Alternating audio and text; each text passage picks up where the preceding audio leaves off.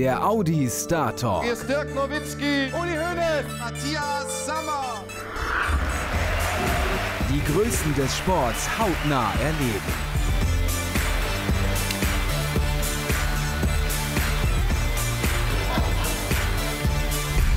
Der Audi Star Talk. Macht natürlich immer Bock auf mehr. Heute aus dem Audi Zentrum Hannover mit ihrem Gastgeber Klaus Grunewald. Hallo, herzlich willkommen. Schön, dass Sie dabei sind zu Hause. Und herzlich willkommen auch unseren tollen Gästen hier in Hannover. Danke für den super netten Empfang. Dankeschön. Starten wir gleich voll durch, denn wir haben ein bisschen gebastelt, hat ein bisschen gedauert, aber jetzt sind wir zusammengekommen und wir freuen uns riesig, dass wir heute in Hannover sind und zum ersten Mal die beiden Macher von Hannover 96 gemeinsam in einer Fernsehsendung präsentieren können. Hier sind also der Geschäftsführer Sport und der Trainer der Erfolgself. Hier sind Mirko Slomka und Jörg Schmatke.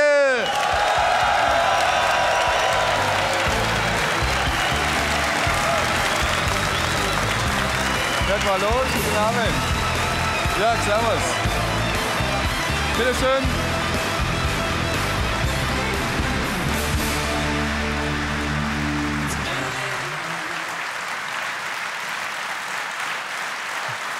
Ihr Applaus.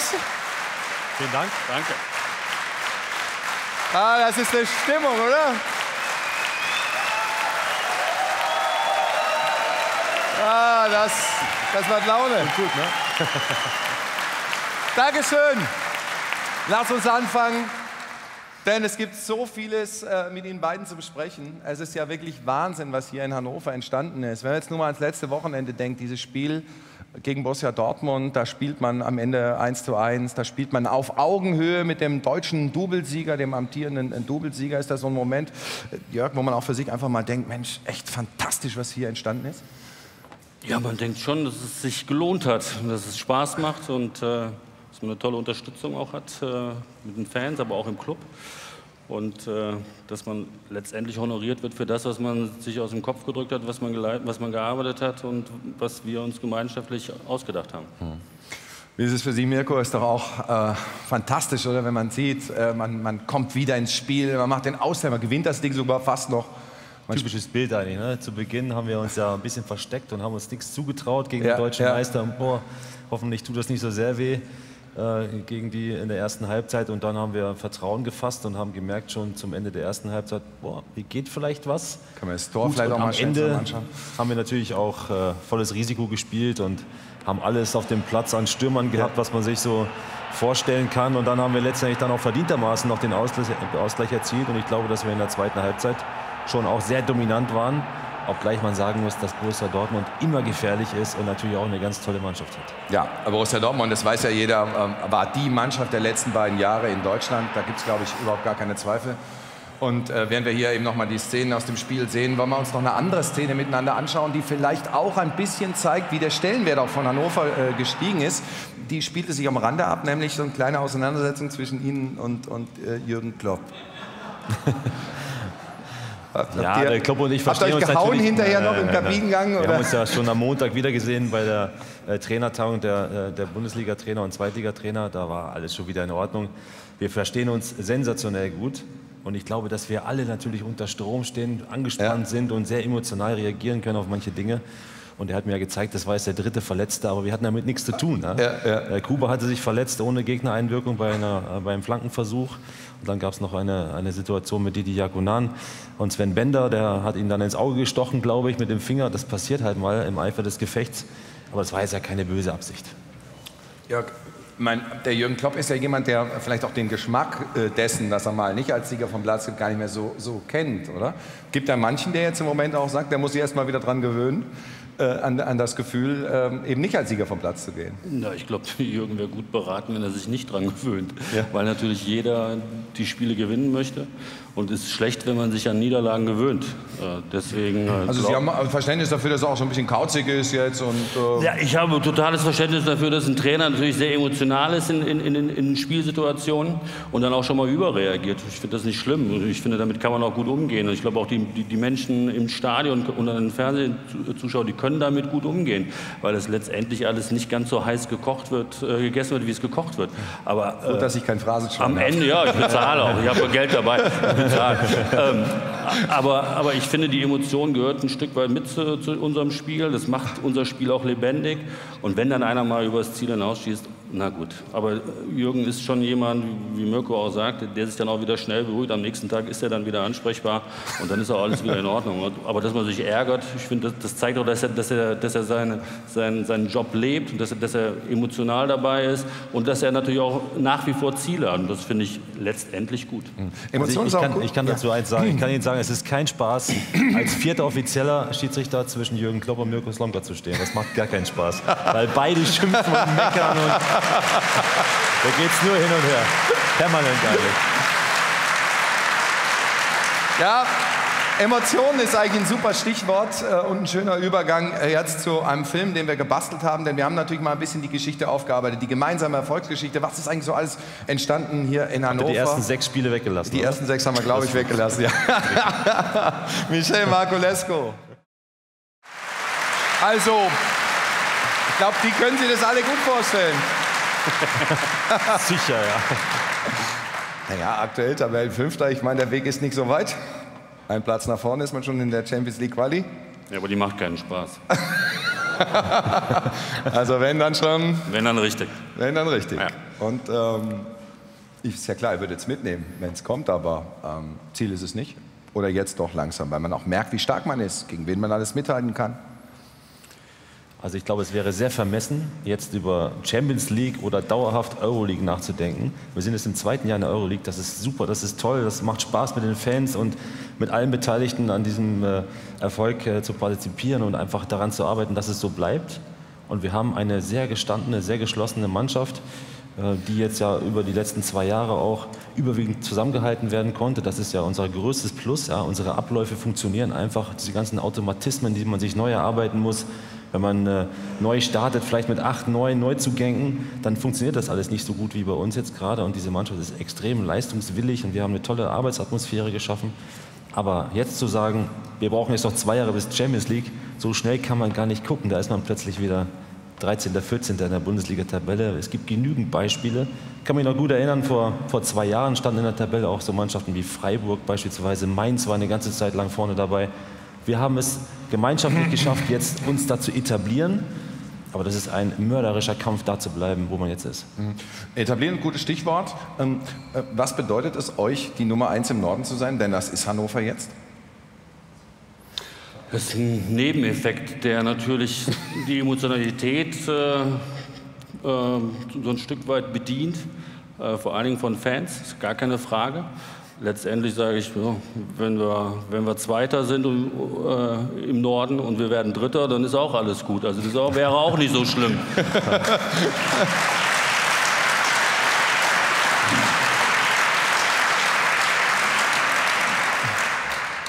Darf ich fragen, sind Sie so erfolgreich, weil oder obwohl Sie so unterschiedliche Typen sind? Das ist ja totaler Quatsch. Also wir sind sicherlich unterschiedliche Typen, ja, das muss man mal sagen. Das Schöne, glaube ich, bei unserer gemeinsamen Erfolgsserie, die wir jetzt hier äh, gestartet haben, ist, dass wir gegenseitiges Vertrauen haben. Mhm. Denn das, was sich abspielt, äh, sagen wir, in der Schnittmenge unserer gemeinsamen Zusammenarbeit, das findet halt nicht öffentlich statt. Mhm. Also der Jörg muss jetzt nicht auf dem Trainingsplatz stehen und mir zuschauen und gucken, ob das alles gut funktioniert. Ich muss aber auch nicht gleichzeitig bei jedem Telefonat dabei sein um zu hören, ob er das alles richtig macht. Ich habe komplettes Vertrauen. Aber da, wo es wichtig ist, da, wo es darum geht, Mensch, wollen wir das wirklich so machen oder doch anders, in diesen Schnittmengen, da müssen wir zusammenstehen, aber das kriegt niemand mit. Deswegen glaubt ihr, wir sprechen nicht miteinander. Das natürlich wäre ja Irrsinn. Ja? Wie soll das funktionieren, wenn wir nicht miteinander auskommen? ich weiß nicht, ich weiß nicht, ich weiß nicht, ob Sie ob die Zuschauer im Fernsehen das verstanden haben. da hinten, ich weiß nicht, ob den Herrn mal zeigen können, Sie können auch, ruhig auch mal kurz aufstehen. Der nette Herr hat gerade äh, hereingerufen, und deswegen macht ihr es die nächsten drei Jahre auch weiter. Da wäre jetzt mal der Sportdirektor äh, gefragt. Ja, wir werden sehen. Also wir, wir sind in Gesprächen, um die Vertragsverlängerung von Mirko hinzubekommen. Ähm, das ist ein kompliziertes Gebilde. Ist, wir, wir möchten den Vertrag verlängern. Wir haben das öffentlich kundgetan. Er hat öffentlich kundgetan, dass er, dass er bereit ist für Gespräche, dass er sich das vorstellen kann. Nichtsdestotrotz macht man so einen Vertrag nicht mal eben im Vorbeigehen. Da muss man bestimmte Dinge besprechen und die besprechen wir im Moment. Und ähm, wir werden dann am Ende sehen, wie lange es dauert. Ein bisschen Geduld ist, wäre ganz gut. Und dann werden wir irgendwann ein Ergebnis haben und das werden wir dann präsentieren. Was für ein Gefühl haben Sie, Mirko? Ja, aber ich muss erst mal bestätigen, dass wir natürlich in diesen Gesprächen sind. Und zum anderen muss man auch sagen, dass es ja insbesondere auch für Hannover 96 eine Entscheidung ist, die auch eine Bedeutung hat. Ne? Natürlich auch für mich hat diese Entscheidung auch eine große Bedeutung. Wir haben jetzt angefangen, wir haben uns versucht zu etablieren in dieser Spitzengruppe. Nur wenn man dann natürlich auch viele Dinge, unterschiedliche Dinge hört, die von außen schon wieder gefordert werden mit Champions League und dauerhaft Euroleague, dann müssen natürlich auch die Fakten dafür geschaffen werden. Ne? Wir sind wirklich auf einem sehr guten Weg als Verein mit diesem Team, aber wir haben so viele kleinere Baustellen, die wir immer wieder und permanent lösen müssen, wo wir dranbleiben wollen. Nachwuchsleistungszentrum beispielsweise. Natürlich haben wir auch Verträge von Spielern, die auslaufen. Da wollen wir rangehen und wir wollen auch immer gucken, dass wir keinen Stillstand haben, sondern dass wir. Nee, ich fordere gar nichts, aber ich glaube, wir alle wollen, dass Hannover 96 einfach vorankommt, weiter vorankommt und vor allen Dingen stabil in dieser Tabellenregion bleibt, wo wir jetzt gerade sind. Und das ist nicht einfach. Einfach nur mal so, ja. Das machen wir schon. So geht es nicht. Deswegen müssen wir auch sehr hart daran arbeiten, dass es so bleibt. Aber von der Grundidee sind wir uns ja einig. Also wir müssen, wir haben bestimmte Punkte, die wir, die wir verbessern müssen, auch strukturell in unserem Club. Da sind wir dran, da, da sind, laufen auch Gespräche. So, und, und, die Stoßrichtung, die ist, die, ist schon mal, die ist schon mal gleich. Das ist schon mal die, Grund, die Grundlage dafür, dass wir überhaupt erfolgreiche Gespräche führen können. So. Und ähm, wie gesagt, die Gespräche laufen. Habt ihr einen Zeitplan? Die, die, nein, machen wir nicht. Zeitpläne und, und, und, vor der Saison irgendwelche Ziele ausgeben, die sind immer nur für euch wichtig und, und toll, weil die kriegen wir am Ende. Aber der Herr Kind hat gesagt, die, im Oktober kriegen wir es hin. Ja, der Herr Kind hat gesagt, im Oktober, der weiß aber auch, hat aber auch nicht gesagt, welches Jahr und hat auch nicht. der, der ist auch nicht. Der Vertrag läuft nächsten Sommer aus. Ja, aber dann machen wir ja. Also ich, ich, glaube nicht, dass es zielführend ist, wenn wir insgesamt immer wieder, immer wieder irgendwelche Zeitfenster aufmachen, Wasserstandsmeldungen herausgeben, sondern wir reden ganz in Ruhe, okay. ganz, ganz, ganz seriös. Und wenn wir ein Ergebnis haben, dann kommen wir um die Ecke und dann, und dann werden wir sagen, hey, wir sind soweit. Okay. Aber, aber vorher, ich, ich, bin da kein Freund von, ich, ich mache das nicht gerne, weil sonst können wir uns hier hinsetzen und sagen, hey, pass auf, wie sieht's aus? Wäre toll für euch, super toll für euch, aber hat natürlich überhaupt nichts mit Seriosität zu tun, hat natürlich überhaupt nichts damit zu tun, dass wir, dass wir ein Wirtschaftsunternehmen sind und dementsprechend uns auch verhalten müssen. Okay, aber eine letzte Frage möchte ich trotzdem noch dazu stellen dürfen, und zwar äh, an Sie, lieber Mirko, und zwar, ähm, würden Sie, ähm, wenn Sie hier verlängern, auf eine sogenannte Bayern-Klausel oder eine Nationalmannschaftsklausel äh, verzichten? Also würden Sie sagen, wenn Sie verlängern, dann verlängern Sie ganz, und gar, ganz oder gar nicht? Ja, da gibt es für mich überhaupt keine Frage. Wenn ich hier bei Hannover 96 den Vertrag verlängere, dann tue ich das mit Herz und Seele und großer Leidenschaft und dann gibt es für mich keine Alternative. Das ist eine klare Aussage.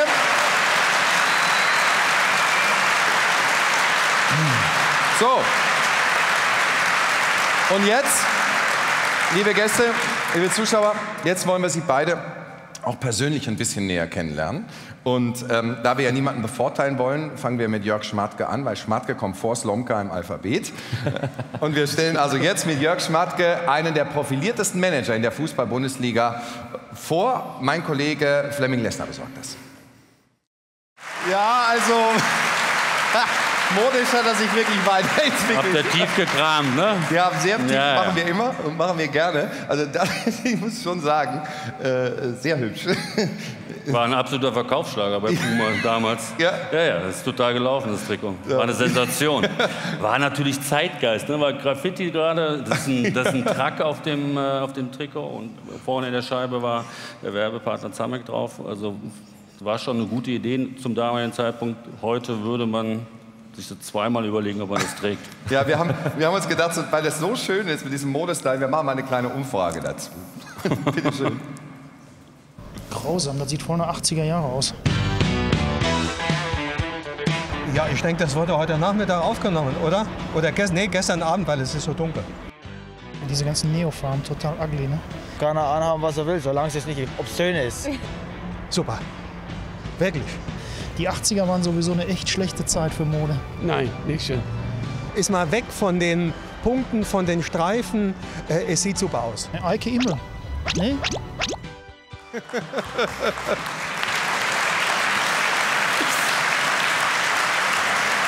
Ja. War eine andere Zeit, muss man echt sagen, die 80er, was die Mole betrifft. Und ein Bild würde ich gerne noch mal äh, rausgreifen, denn das weiß ich gar nicht, ob es das in der Bundesliga wirklich mal gegeben hat. Dann ein Torwart eingewechselt wurde als Feldspieler. Ja, nicht eingewechselt, ich habe getauscht. Also Ah, ja. Ich, ich habe vorher im Tor gestanden, bin dann zur Seitenlinie raus, andere Torwart rein, ich habe Trikot aus, Tortrikot ausgezogen, hatte ein Spielertrikot drunter und bin dann in den Sturm rein. Zwei Spiele, ein, ein. Spiel in, in Rostock und ein Spiel in Dortmund. Und Quasi wie Günther Netz, da hast du dich selber vorne in den Sturm wir haben uns sel ich habe mich selber vorne Hier- hier eingewechselt. kommt die ja. Das ist, glaube ich, gegen Dortmund. Das war das letzte Saisonspiel. Dortmund war Meister. Wir waren gerettet. Äh, Wir hatten ein paar Probleme mit Und haben Sie ein Tor Verletzten. vorbereitet? Ja, ja, Pascale Seredes, so ein griechischer Spieler, der sein einziges Bundesligator gemacht hat. Und der war mir auf ewig dankbar. Ich glaube, ich kann heute noch Urlaub in Griechenland machen, wenn ich ihn anrufe. Weil er war total happy.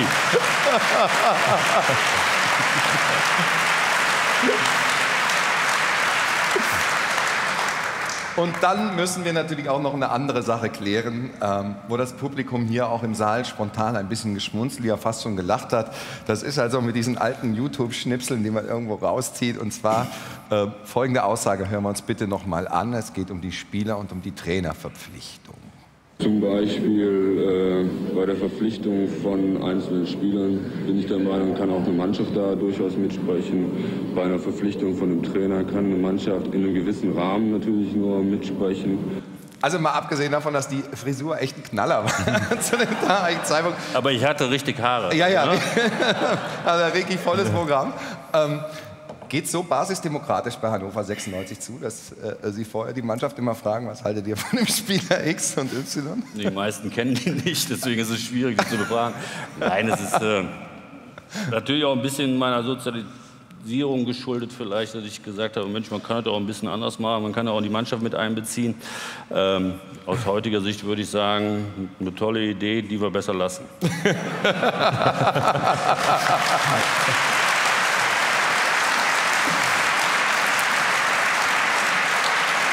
Mirko, was, was glauben Sie, was hätte äh, der Sportdirektor Jörg Schmatke mit dem Spieler Jörg Schmatke äh, gemacht? Jetzt heute? Ja. Oh, ich glaube, er hätte eine Typberatung verschrieben, auf jeden Fall. Friseure haben wir gute in Hannover, das wäre schon gegangen. Brauche ich nicht mehr.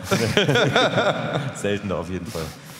Ja, ansonsten, ja, es gibt auch heute noch verrückte Spieler.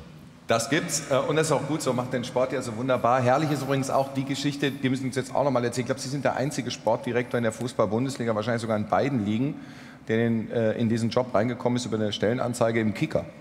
Äh, ist wirklich wahr. Äh, der eine oder andere fängt schon an zu lachen, aber es stimmt wirklich. Im Kicker war eine Stellenanzeige, wir haben die auch vor, vorgelegt hier. Äh, gesucht wird, Sportdirektor und so weiter. Ähm, Geschäftsführer wurde auch noch gesucht, aber da habe ich gedacht, das ist nicht mein Ding. Lieber Sportdirektor. Ja. Ich, ich wollte eigentlich, der Ursprung war, dass ich, ich, wollte, ich hatte meinen Fußballlehrer gemacht, ich wollte eigentlich Trainer werden. Dann habe ich äh, mich beworben bei mehreren äh, Landesverbänden. Und dann habe ich den Kicker durchgeblättert und habe gesehen, oh Mensch, Sportdirektor, habe mir so durchgelesen, was ist da zu tun? Mhm. Habe ich noch nicht gemacht im Fußball, kann man mal ausprobieren. drei Kandidaten, glaube ich. Hingeschrieben, drei Kandidaten, Auswahlverfahren durchlaufen und am Ende meinten die dann, Mensch, Herr Schmatke, wollen Sie nicht mal versuchen? Sie waren der Einzige, der ein Konzept vorgelegt hat, ne? damals. Ja, wir sollten ein Konzept schreiben. Ich habe dann nachher erfahren, der eine hat sich geweigert, der andere hat irgendwie so einen, so einen Schmierzettel genommen und ich habe mir natürlich die Mühe gemacht, am Rechner mich hinzusetzen und so eine, so eine Klatte äh, zu machen und die habe die dann verteilt. Ich habe da letztens noch mal reingeguckt vor zwei Jahren und habe mich dann ein bisschen erschrocken, was da drin stand, aber es hat gereicht gehabt für Aachen. Heute ist so.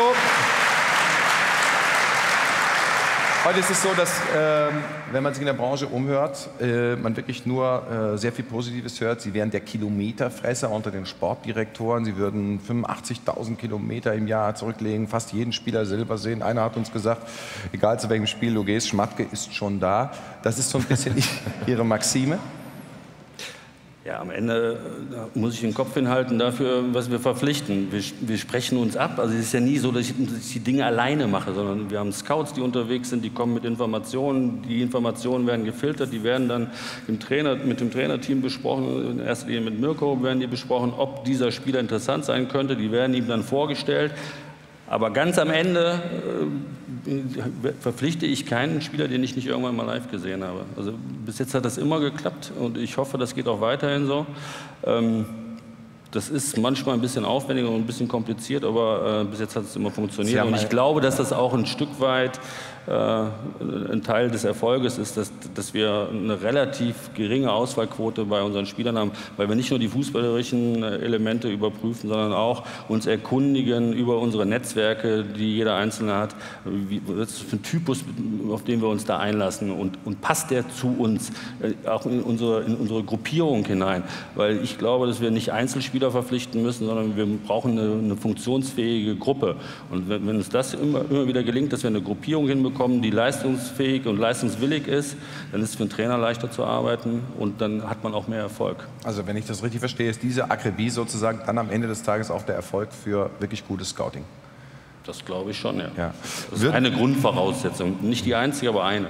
Jetzt ist ja so, Sie sind ja äh, der, der Mann, der also äh, unter, ich glaube, ein, ein äh, Sportjournalist in Aachen hat das mal sehr schön geschrieben. Er hat geschrieben, äh, Jörg Schmatke, Christoph Pauli heißt der Sportchef der Aachener Zeitung. Äh, Jörg Schmatke ist die, ich weiß nicht, ob wir das Zitat vorliegen haben, die Idealbesetzung für Clubs, die verzweifelt sind denn er beschert eine außergewöhnliche äh, Rendite. Dafür sind sie auch bekannt, dass sie Spieler holen, die wirklich kaum einer kennt, in Norwegen und sonst wo, und dass die natürlich in kürzester Zeit erblühen und richtig klasse Fußball spielen. Haben Sie, ja? Aber das ist ein altes Zitat, muss man sagen. Also als ich 2001 angefangen habe, habe ich mir Spiele angeschaut, da war ich alleine auf der Tribüne. Aachener Zeit. Aachener Zeit, ja. ja. Also wenn ich heute in die Stadien komme, da sitzen die Scouts nicht nur national, sondern international, die sitzen alle links und rechts neben mir. Also das Thema ist vorbei, dass man einen Spieler irgendwo herangelt, den sonst keiner mehr kennt. Das gibt es nicht mehr. Das, das, dieses Thema ist vorbei. Dafür ist die Welt zu gläsern geworden, dafür sind die Informationsflüsse zu schnell und, und, und das gibt es nicht mehr. Aber das war, damals war das der Fall, dass man einfach, wenn man ein bisschen mehr unterwegs war als andere, dass man mehr Dinge gesehen hat, das, das ist heute nicht mehr so. Mhm. Aber haben Sie nicht auch als Trainer das Gefühl, äh, dass es schon in Hannover außergewöhnlich ist, wenn man sieht, wen Sie verpflichtet haben, auch gemeinsam verpflichtet haben in den letzten Jahren? Das ist ja wirklich Wahnsinn. Also ich würde sagen, die Auswahlquote liegt unter 10 Prozent. Also das Thema ist, glaube ich, äh, nicht nur das äh, Herumreisen und das Auswählen und Anschauen von Spielern und Spielen, sondern auch das Dranbleiben an diesen Spielern. Ja, mhm. ich erinnere mich gut an die Verpflichtung von Moa Abdelau, der den wollten wir eigentlich schon äh, nach der Winter, also zur Winterpause holen oder nach der Winterpause holen, dass er für uns zum Einsatz kommt. Das hat nicht geklappt, aber der Manager ist halt dran geblieben. Ja? Und im Sommer haben wir ihn dann gekriegt. Und wenn man dann einfach aufgibt und sagt, oh, das klappt sowieso nicht, dann funktioniert es nicht. Aber also ein bisschen Nervensägen auch sein manchmal. Ja, einfach wieder mal anrufen und noch mal schauen. Und, ne, ja. Muss man schon verbissen an solchen ähm, äh, Spielern dranbleiben, damit man wirklich die Chance hat. Und der Moa hätte sich sicherlich auch für einen anderen Verein entscheiden können, vielleicht auch für einen attraktiveren Club. Aber er hat vielleicht auch für sich gesagt, Mensch, die wollen mich wirklich. Da gehe ich da mal hin. Also, das ist doch schon mal ganz klasse. Träumen Sie denn manchmal, wenn man so, ähm, sagen wir mal, immer versuchen muss, man relativ wenig, relativ viel rauszuholen, träumt man da nicht auch manchmal davon, dass man beispielsweise Sportdirektor bei Bayern München ist und mal vor der Saison locker für 70 Millionen shoppen geht? Na, ich glaube, dass Transfers grundsätzlich, ob ich viel oder wenig Geld habe, immer kompliziert sind. Sie sind immer schwierig. Die müssen immer irgendwie passend sein. Es ist egal, ob ich 40 Millionen für einen ausgebe oder 500.000 weil es ist immer ein Wagnis. Aber würden Sie gerne mal 40 Millionen ausgeben? Ja, aber habe ich kein Problem mit. Also ich würde mich jetzt deswegen nicht schämen. Wir können bei Herrn Kind gerne mal anrufen, dann schauen wir mal. Ich, ich, glaube, uns würde, uns würde die, die eine oder andere Idee hätten wir, wenn wir 40 Millionen auf den Tisch legen, wo wir sagen, Mensch, die gehen wir mal aus. Würde schon was gehen, ja. Ja, würden wir schon hinbekommen. Okay, jetzt ist er elegant, haben Sie gemerkt, elegant der Frage ausgewichen, ob er sich vorstellen könnte, mal bei Bayern Sportdirektor zu sein. Hat er gut gemacht. Ja, alter ehemaliger Kollege ja übrigens auch. Gerne beim Fernsehen gearbeitet, ne? Ja, sehr gerne. Ich habe viel Spaß gehabt, habe viel gelernt und, äh, und tolle, tolle Menschen, tolle Menschen kennengelernt und musste dann leider Gottes richtig arbeiten, ja.